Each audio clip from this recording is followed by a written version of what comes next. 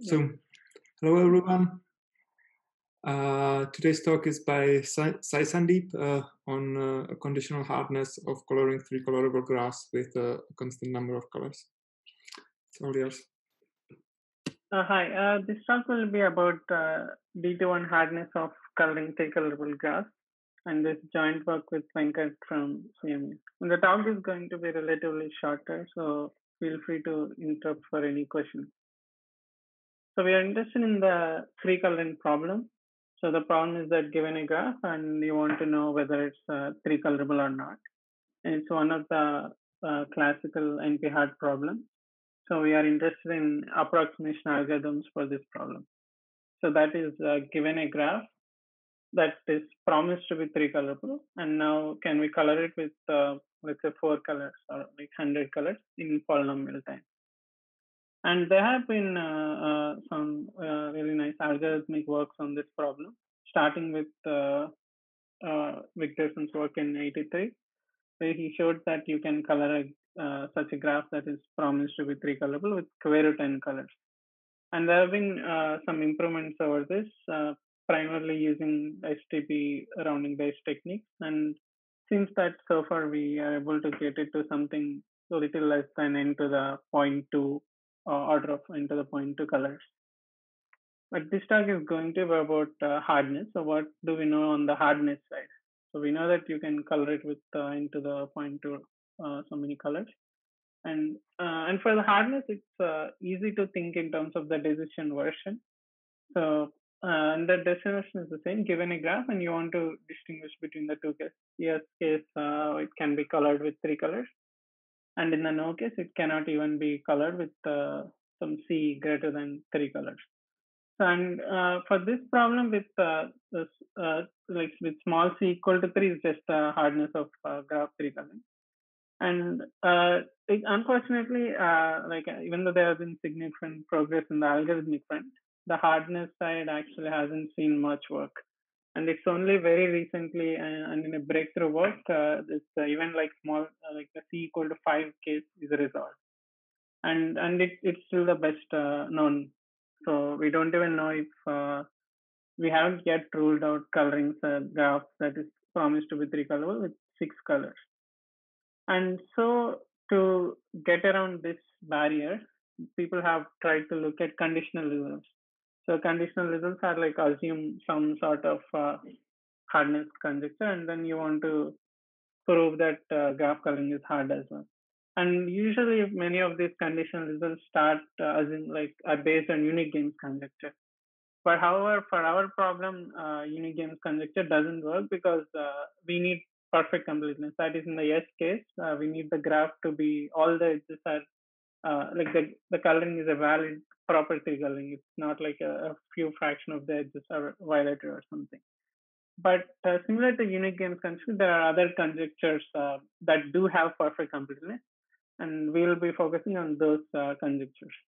And that um, and uh, so one of them is this D to one conjecture, and D could be anything. And so assuming two to one conjecture, uh, so later I will explain what all these conjectures mean. And assuming two to one conjecture, uh, it's already been proved uh, in, in a nice work of Dinur, Mossel, and Regev that uh, 4 versus C coloring is NP-hard for every C. And even 3 versus C is also proved to be NP-hard, assuming a fish-shaped uh, version of the unique games conjecture. And and like uh, b- before uh, going forward, I will explain what all these conjectures mean. Um, all these conjectures are variants of uh, this label cover problem. And in the label cover problem, you have uh, a bipartite graph G with uh, let's say LR and uh, edges, and there are constraints across the edges. So you could think of it as this as a binary CSP, but with a special form of constraints each constraint is a projection constraint. That is, once you uh, fix the value of a vertex on the left, the value of the uh, vertex on the right that is adjacent to it is uniquely determined if you want to satisfy that edge. And uh, this this has been a classical problem in the field of hardness approximation, and many of the hardness results uh, follow from this problem. And we do know uh, very good uh, hardness for this. Uh, like uh, by that I mean you, we know that it's NP hard to distinguish between the two cases. In the first case, when all the constraints are satisfied, versus uh, at most epsilon fraction of the constraint can be satisfied for any constant epsilon. And uh, we do require perfect completeness. Um, in the sense that uh, by by perfect completeness, I mean that in the completeness case, all the constraints are satisfied, as opposed to saying that uh, at most some delta fraction of constraints are violated. And uh, so this all uh, the con- the conjectures that I mentioned previously, they are all variants of this label cover problem. They're all saying that uh, a certain structured form of label cover is also hard and one of the such uh, conjectures is this uh, so-called D21 conjecture. And D21 conjecture has been introduced by Khot in the same paper that introduced the unique conjecture. And in the D21 conjecture, you have uh, the label set on the left side is uh, let's say D times L, on the right side is L. And uh, we do know that for every uh, label on the left, there is unique label on the right that satisfies the constraint. But in the D21 conjecture, the other direction is also true, but with uh, D labels. So for every label on the right, there are exactly D labels on the left that satisfy a particular edge. So if you if you think of uh, D as one, that's just a unique games conjecture. But the advantage of having larger D is that you can you can also have perfect completeness. And this uh, so now you can have increasing D and different forms of the conjecture so the strongest uh, of these family of conjectures is the two to one conjecture. And we actually prove that uh, the results that previously are known under the two to one conjecture, which is the hardness of uh, four versus six. But we prove that so the those hardness results, even like three versus c color, we can obtain them assuming the d to one conjecture for any constant uh, d, not just uh, d equal to two. So the hope is that somehow uh, it, it could it, it is probably easier to prove the D21 conjecture for a large constant D.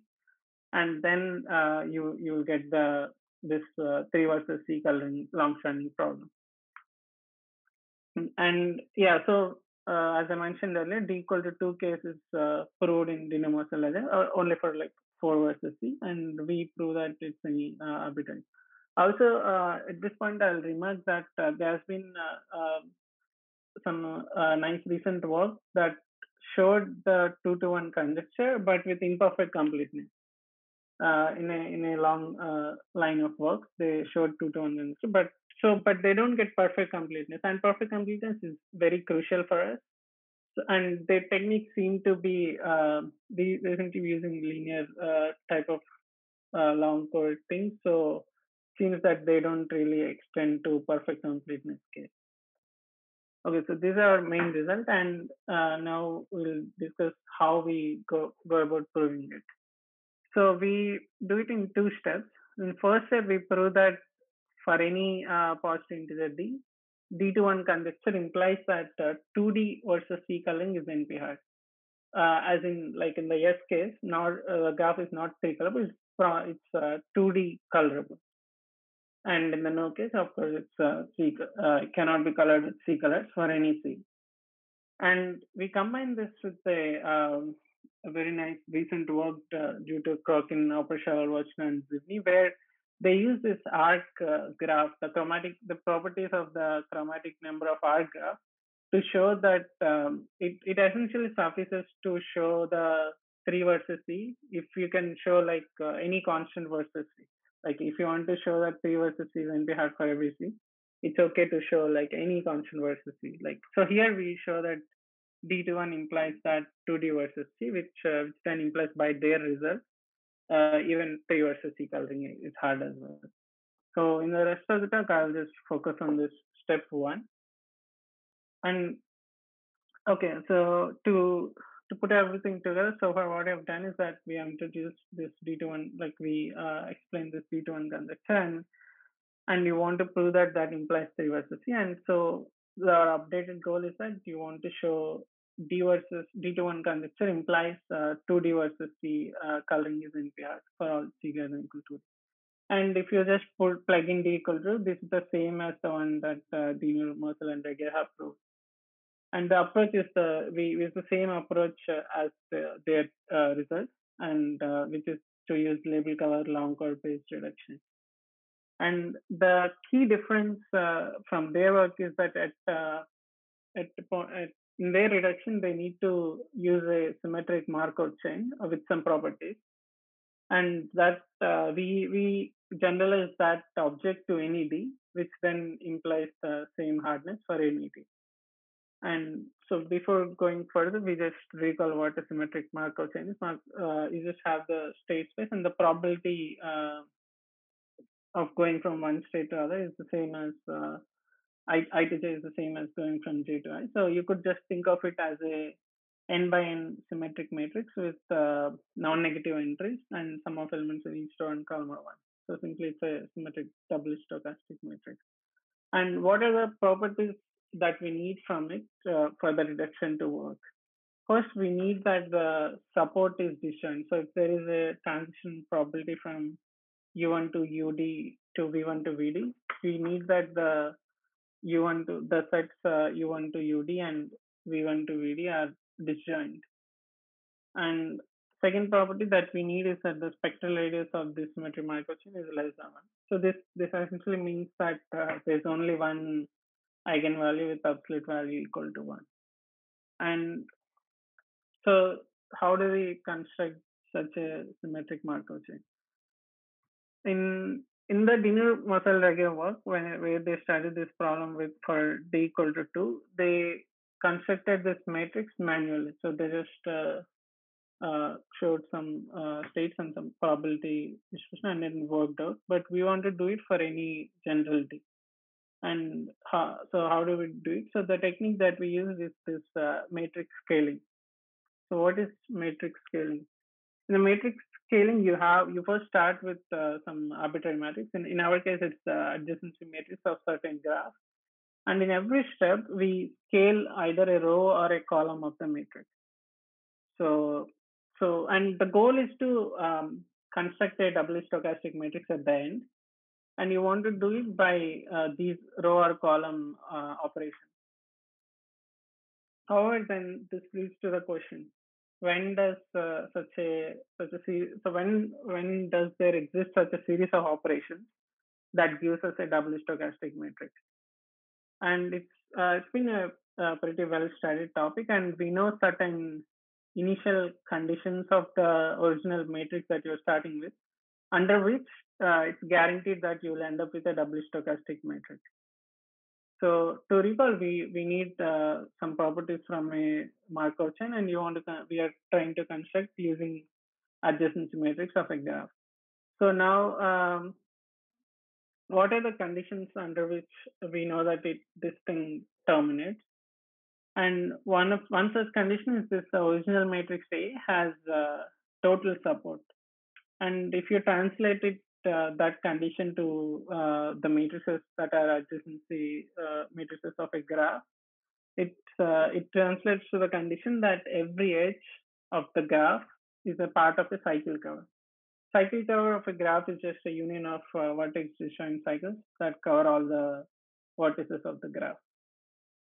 And so now, uh, instead of requiring some properties from a symmetric Markov chain, we now reduce the problem to requiring some properties from a graph with vertex set 2d raised to the d. And what are the properties that we need from this graph? First, we need that every edge is part of a cycle cover. This is to ensure that when we uh, apply the matrix scaling, we, we end up with a double stochastic uh, matrix and with the symmetric Markov chain. And we also need some other properties of the symmetric Markov chain. Just to recall, one, we need the disjoint support property. And two, we also need the uh, spectral radius of that uh, to be less than one, which translates to the property that the graph should be connected and it should not be uh, a bipartite graph. So to summarize, we need these three properties from this graph, and the vertex set of the graph is uh, 2d raised to the d. And now we show how to uh, construct such a graph. So okay here q q is supposed to be 2d we add uh, two two types so we just start with like empty graph and we add two types of edges so the first type is uh, we add edge between u uh, which is u1 to ud and v equal to v1 to vd if uh, they are of the same ordering as in for every i comma j uh, they follow the same ordering as u1 equal to u uj if and only if uh, v v ui equal to uj if and only if vi equal to j and similarly uh, other conditions as well. So in some sense we are uh, breaking the vertex set into equivalent classes and then adding um, uh, edges between vertices in the same class that have disjoint support. And the second types of uh, edges that we are add, adding are uh, the same as above for the case when u1 uh, are equal to ud. Like all all of them are equal. So this this uh, essentially ensures that uh, you have connectedness and the graph is also not bipartite. So this to re- so we already have uh, gotten two properties: the connectedness and uh, non-bipartiteness. And since we're adding edges uh, between uh, vectors that have support disjoint anyway, so we also have the disjointness property. So the only property that we need to verify is that uh, this every edge of this graph is part of a cycle cover, and that is uh, not difficult to see simply because um, the type one all the type one edges are uh, regular. So this you when you uh, if you fix a class of ordering which uh, which fix so and among that class is just a Kneser graph because we are just adding edges between vertices that have disjoint support and they are regular. So it, and one every regular graph every edge in a regular graph is part of a cycle cover this is because you can just have two copies of the graph and then construct a bipartite graph. And that bipartite graph is biregular, so it has a perfect matching. And so uh, every edge is uh, part, part of a, Even more, every edge will be part of perfect matching. And so you can conclude that every edge is part of a cycle cover as well. So we have constructed this, we showed the existence of this graph with all these properties which then implies the uh, existence of the symmetric Markov chain as well. And now, uh, finally, uh, we'll just describe the reduction. How do we go from this uh, symmetric Markov chain to how do you use this symmetric Markov chain in the reduction from uh, this D to 1 conjecture to graph coloring problem? First, we actually uh, re reduce this uh, D to one conjecture to this other variant called D to D conjecture. So it's uh, it's proved that uh, D to one conjecture implies the D to D conjecture. So in the D to D conjecture, it's, so the constraints are no longer projections, but they have this very special uh, type of structure. So you could think of the alphabet uh, is some D times L, and there are two permutations pi one, pi two. Uh, one for for every edge uh, there are two uh, permutations pi one pi two. One for the vertex on the left one for the vertex on the right. So is that um, the the graph that is obtained by adding pairs that are in the relation is uh, of this form d to d. So pi 1 inverse x and pi 2 inverse y uh, belong to this d to d and d to d is this relation so essentially you can think of it like there is this uh, D2D structure, and then you you can permute the labels uh, on the left or on the right. So this is the D2D conjecture. This is uh, simply easier to work with. Uh, it's not hard to prove D2D conjecture from D2 conjecture. Okay, and so we also first recall what's the uh, traditional label cover long code uh, setup. So you start with a label cover instance to uh, to recall you have a graph uh, and then uh, a constraint for every edge, and then you want to output a new graph based on this label cover instance, such that if the label cover instance is satisfiable, the graph can be colored with 2D colors. And if uh, no assignment can satisfy some epsilon prime fraction of the constraints in the label cover, uh, the new graph G prime cannot be colored with C colors, but we actually prove a stronger statement that uh, is not even an independent set of size epsilon G prime. And how do how do we go about this? So we replace each vertex of the label cover with a set of nodes uh, FP of size uh, 2D to the DL. This is the long code vertices. And what are the edges that we add? So if we look at every edge u comma v, uh, an edge of the label cover instance to G with some projection, uh, not projection, the constraint uh, pi e, which has uh, which is represented by the permutations pi 1, pi 2. Pi 1, pi 2 are the ones that are present here. And and we also have the symmetric Markov chain that we have uh, constructed previously. And we add edges uh, between x1 and xdl and y into ydl so that uh, the so this this constraint it might look weird uh, when uh, the first slide where, where you are adding this uh, m of uh, all the d to d to d set of so you want the d to d set you look at every pair uh, in the D to D, and then uh, for them the Markov chain support should for that pair the Markov chain support should be uh, it, should be in the support of the Markov chain. So the idea is that uh, it essentially comes from the completeness case. You want to ensure that when you decode each FV to a dictator function, this uh, should be a valid 2D coloring, which is uh, clear for us because uh, the the mark M is has this property that uh, there are only uh, transient probability between two sets if their uh, support is disjoint. And we also have additional properties of M which are useful in the soundness case. So, okay, and how, how does the analysis go through? As I mentioned earlier, completeness is actually fairly straightforward. You just uh, suppose that in, in the case that there is a labeling to the vertices of the label cover that satisfies all the constraints. You decode each node with uh, the dictator function corresponding to that labeling. And this is a valid coloring simply because uh, uh, when in the constraints that we have added, okay, yeah, and so if you decode to uh, two dictator functions here, uh, the edges uh, will intersect. So the support is non-zero. So in the graph that you get G prime, it there are no uh, edges between vertices that are assigned the same label. So the graph G prime will be 2D color. And the soundness analysis is uh, usually the harder uh, case. And uh, how does the soundness work? You know that there is a large uh, independent set in G prime and using that. We want to show that there is an assignment uh, to the label cover that satisfies large fraction of the constraint.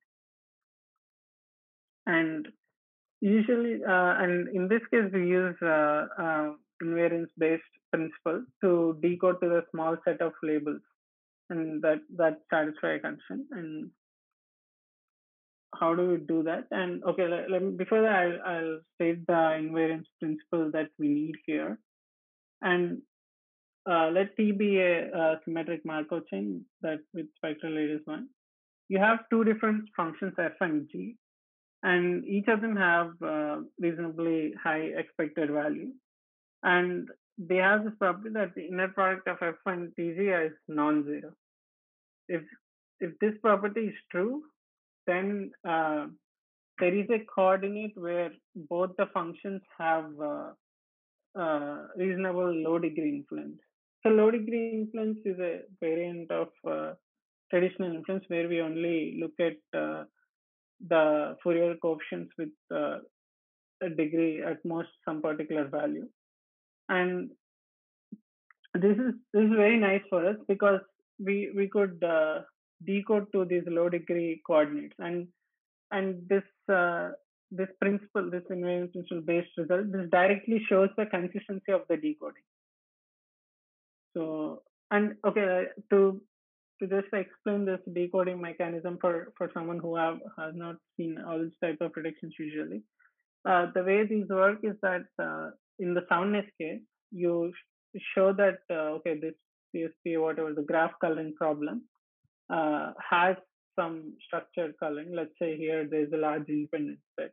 Uh, using that, we uh, show some uh, important coordinates or important labels to each uh, label cover vertex. And then we, once you sample a label from these uh, set of labels to each vertex, we then show that this labeling, the random sample labeling, satisfies a constant fraction of the edges, which is uh, which then proves that there is a labeling uh, to the label cover instance that satisfies a constant fraction of this, which is a which is a contradiction. So that is exactly what we want. And here the labeling is the, all the coordinates of the, so the functions f and g are the independent set uh, functions.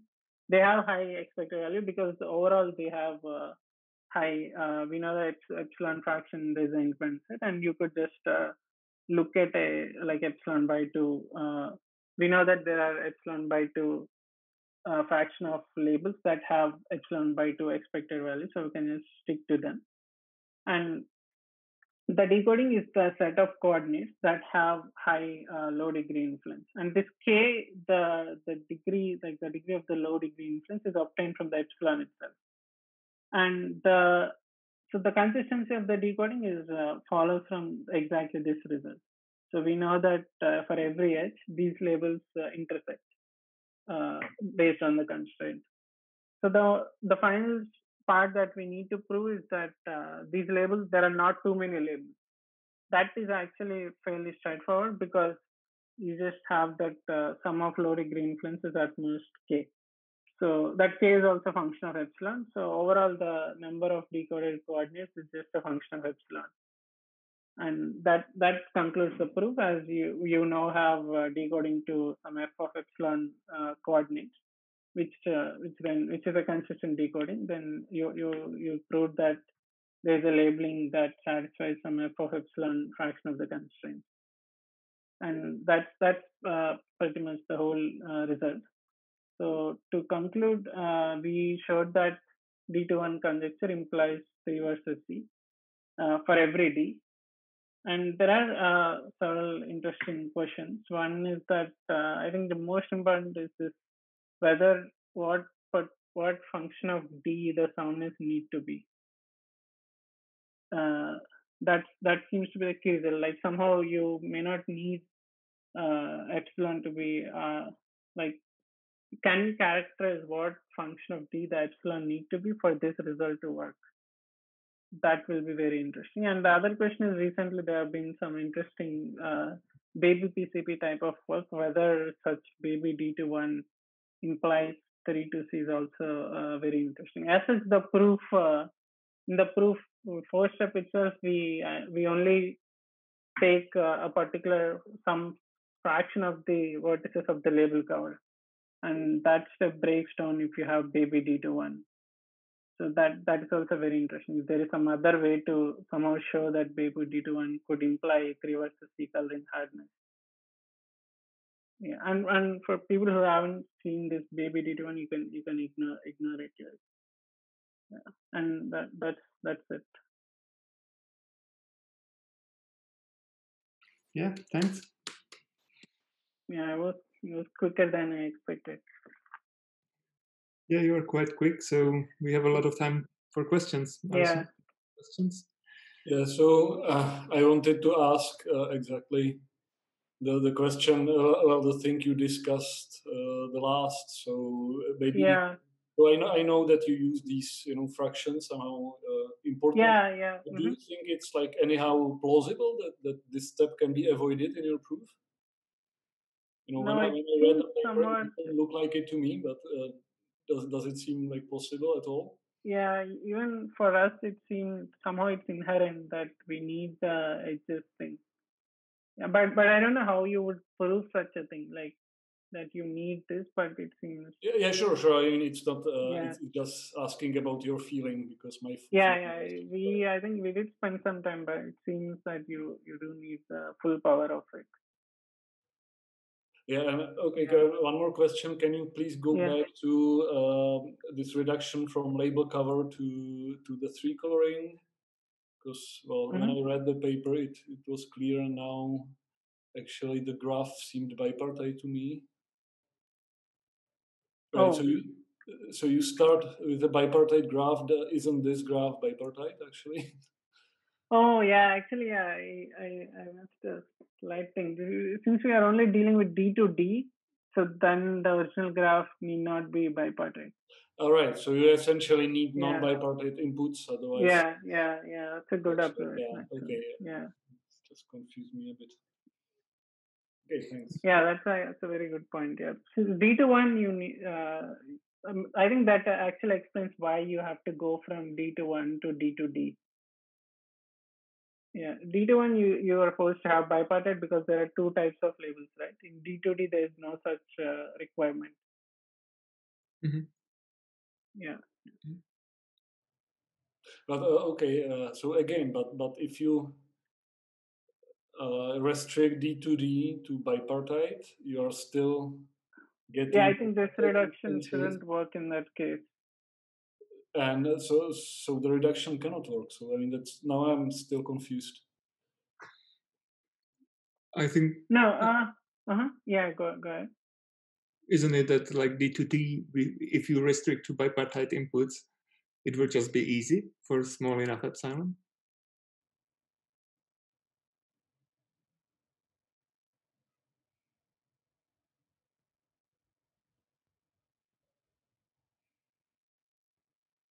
Like unique games conjecture does not make sense if you if you require the graph to be bipartite, right? Or am I wrong? No, unique games is okay, right? On bipartite. It says that I think this reduction doesn't hold, I feel. Right.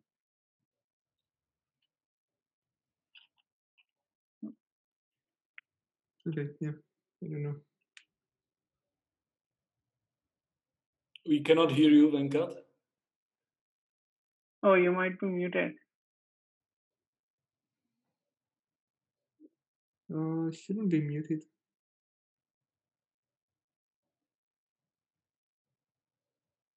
Now I was saying you can also put these edges inside a long code.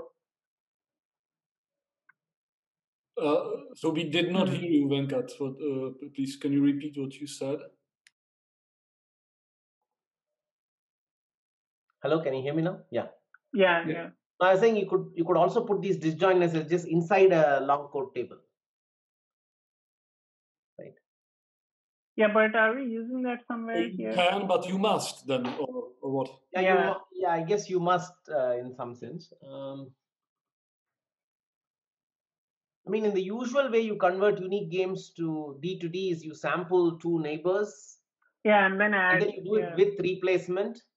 So there is a chance you will sample, you know, in fact, you will sample the same long code twice and you will have D to D constraints between them. So Right. So, so this is not probably like what is happening under the hood. So yeah. So, so this is not what uh, actually the reduction does exactly, right? It's... No, it's just that the D to D uh, starting point is non-bipartite.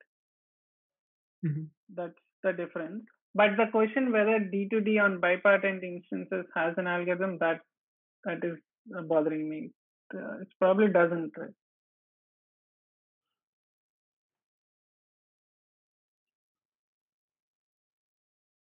no, no. o- Okay. My question is Yeah. now. Now, I mean, is this the the reduction you actually do, or or not? No. No, this is the No, no. reduction that we do. I'm sure. But no, with no, the but I starting think point it's is also I think it, it, there is some implicit structure, right? Because you could also have a D to D thing. Forget bipartite or anything. You don't even need bipartite. If it has an independent set of size epsilon, that itself will be enough, right? So somehow you need this density type fact that any epsilon fraction of vertices will have some some epsilon square constraints between them and you you get that by sampling. Uh, you take a unique games which is d or d to one, and then you do the sampling of two neighbors, I think, and then you have you don't have any of these issues, uh, right? So because somewhere in the soundness you will you will have to say that on those epsilon fraction where you have good mass, there are enough edges, so you will actually get a good assignment for the d to one, and I think there it will break down if it's bipartite maybe I didn't explain. Uh, so, so you, you, go you back think, to. You think the bipartite version of. Uh, of no, no, bipartite will not work. In fact, you will need something even stronger. You will need a property like in the constraint graph, it should be dense in the sense that if you take epsilon fraction of uh, variables, mm-hmm. there should be some you know epsilon cube constraints within them, which in particular rules out, of course, bipartite or any even largest independent set. And I think that's kind of tacitly used in the soundness. Right. So so D2 one, uh, D2D uh, for bipartite is actually easy. That's what you're saying. Because I'm not sure I'm saying that, but I'm saying the reduction will not. Okay, I, I, I understand. I understand what you said. But then uh, I think still like either uh, D2D is easy or this reduction like. For bipartite won't be easy because even D to one is not easy, right? So on bipartite. So, uh, Libor, I think uh, in this reduction, we are somehow implicitly assuming that every epsilon fraction of the vertices have uh, enough edges because we are. Uh, ah, ah, ah okay, that, okay, okay, Now I understand it. You need some assumptions yeah. on the D2, D. Yeah. Oh, okay. Instance, yeah, yeah. And the reduction from D to 1 to D to D actually satisfies those. So we don't need to worry about it. Yeah.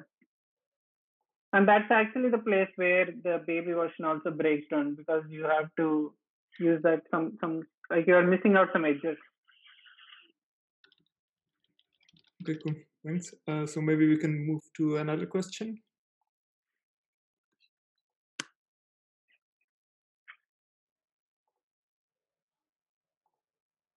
Um, you can ask a question about those conjectures. Uh, so, is there any mm-hmm. conjecture that is weaker than um, all of those D2 ones, or you know that's uh, there's nothing weaker, so that's just as weak as you you can go. Yeah, the the the baby D2 one is one of them, but the, I among the popular ones, I don't think there's any anything else that is weaker. Okay.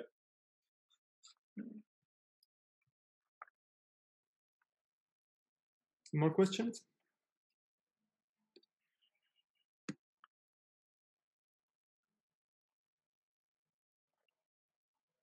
Okay. There are no more questions. Uh, let's thanks Sai again